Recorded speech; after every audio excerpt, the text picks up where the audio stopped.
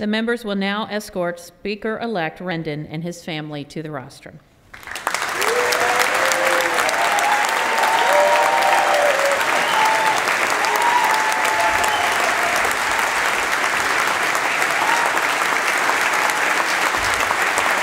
Raise your right hand and repeat after me. I I, Anthony Rendon, do solemnly swear do solemnly swear that I will support and defend that I will support and defend the Constitution of the United States the Constitution of the United States and the Constitution of the State of California. and the Constitution of the State of California.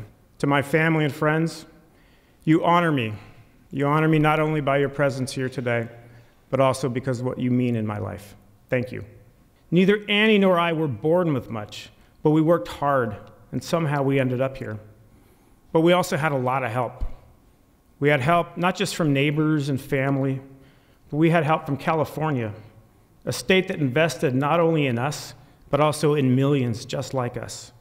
It was California that helped us to get here, and it's to this state to which we are indebted that I take this obligation freely that I take this obligation freely without any mental reservation without any mental reservation or purpose of evasion. or purpose of evasion. In the effort ahead, there are three areas in particular we should focus on poverty, oversight, and participation.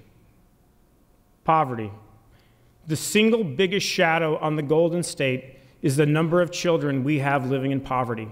Almost two and a half million children in the greatest state, in the most powerful nation on this planet, are right now living in poverty. That's unacceptable. We need to make investments and provide opportunities that lift California families out of poverty and give all of our children a better chance. Oversight. In my first year of this House, I demanded that the State Parks Department be held accountable to California's taxpayers.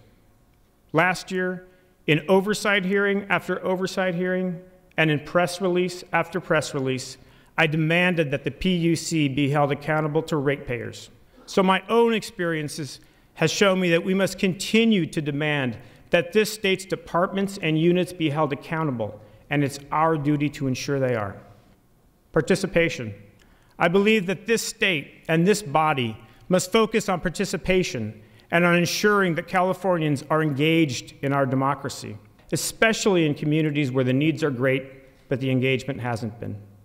One way, of course, is to get barriers out of voters' way. We're making progress, and last year's automatic registration bill will help. And when there's an ongoing campaign across this country to keep people from voting, we must continue to fight for the voting rights of every Californian. And that I will well and faithfully discharge And that I will well and faithfully discharge the duties upon which I am about to enter. the duties upon which I am about to enter. Congratulations. Thank you.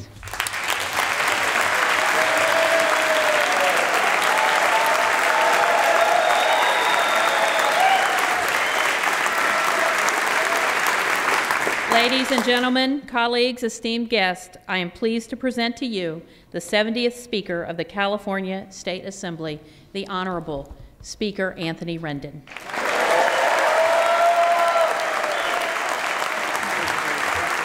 Colleagues, this year marks the 50th anniversary of California voters putting the state in the hands of a full time legislature.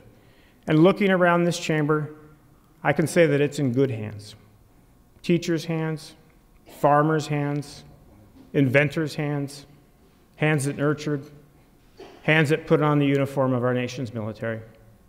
Today, I raise my hand to take the oath to serve as your speaker. One day, that oath may be taken by one of you sitting way up there. And one day, it may be taken by some other Californian who right now is riding a bus or picking fruit in a field.